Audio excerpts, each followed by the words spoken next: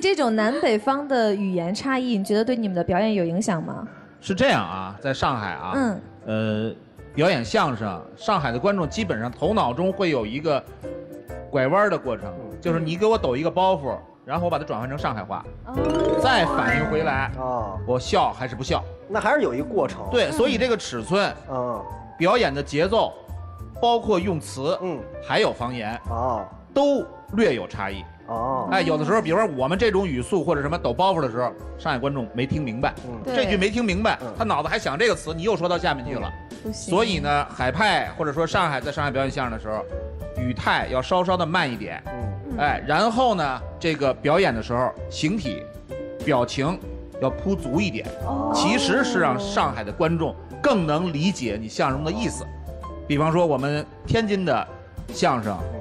是这个语言的这个耐咀嚼力特别强，就这包袱过去说马三爷，金琢磨，这哎金琢磨，这观众睡了一宿觉，第二天想起这个包袱还这么逗。上海就很难，你看咱们在北京或者天津，经常是什么，去干嘛去？听相声去。嗯，明明是去看相声，嗯，我们还经常下意识的说什么听相声，嗯享受的更多还是听语言的这种魅力。对，嗯，但是在上海不会有人说听相声，嗯。而是看你表演相声。过去啊，其实传统的来说，我们这相声叫宁可过关也不过江。就到南方其实很难干，特别到南方，人家有这个滑稽。你们怎么跟这个，比如说人家滑稽戏人张嘴上海话，人家就听得明白。对咱这个相声跟他们比有什么优势，有什么劣势呢？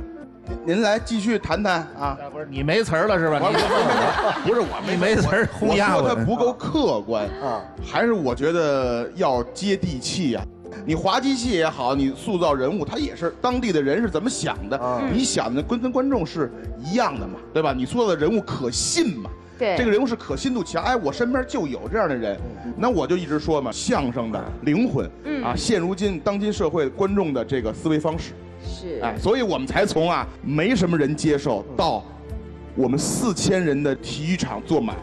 其实这个哎不光要求演员啊都要创新，而且这个演员团队得比较团结，是吧？好像我听说金岩你在这个品环团建搞得还很好，是吗？哎，可以，哎，是新的一茬人了，已经。那可说到点儿上了没有比我们更好的是吗哎比如说到七寸上了啊哎这是好是不好？这是，比如说吧，其实我们演员团队是一部分，还有我们的创作班底，有七零后，有八零后，有九零后。其实今天啊，有个小插曲儿，本来今天有一位我们的创作人员要到场，是一个九零后的一个小女生，她给我们创作了大量的这个好作品，而且是这个南北通吃的作品。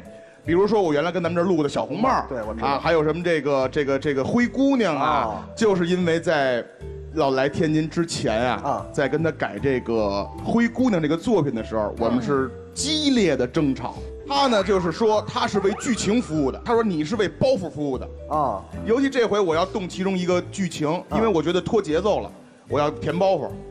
他是坚决反对我就是改他的这个东西。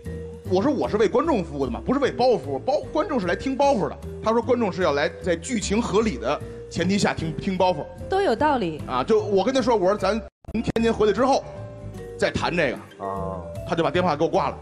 嚯，你手底这人脾气都这么大，哎，其实我们的目标是一样，都是让那个作品更加的丰满，观众呢更加的肯定嘛。对所以说我跟他争吵，你说我也想想也挺不对的啊啊。我借这机会吧，我说说这小张老师老师啊，能能看见吧啊能，啊，我这个我们这个你是不是得站起来九十度鞠躬说呀？凭什么？哦，并不是这意思 对啊。吧？就这意思吧啊，小多老师啊，您也听得见啊。反正这个咱们都是为了作品好啊，咱们希望下回咱们在天津卫视啊还能坐下来踏踏实实的。